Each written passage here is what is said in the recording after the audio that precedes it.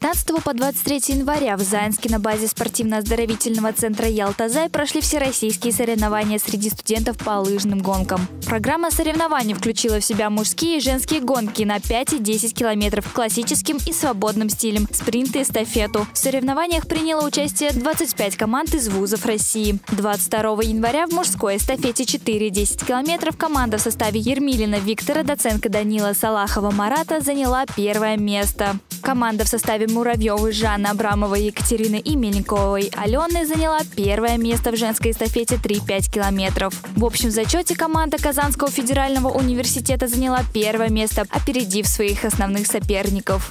Ну, следующий этап у нас, э, вот отобрался у нас Николай Артем, универсиада будет. А со студентами мы готовимся, у нас сейчас уже пересвуз Татарии будет. Но это для российского уровня, мы заняли первое место, это высший уровень, они как бы являются чемпионами России среди студентов по лыжным гонкам сборной команды КФУ.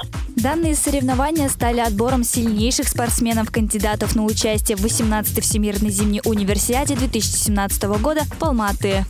Получается, бегут э, эстафетные гонки три девчонок, три по пять километров. Первый этап значит, бегут классическим стилем, второй, третий этап бегут свободным стилем. У ребят, соответственно, четверо участвует.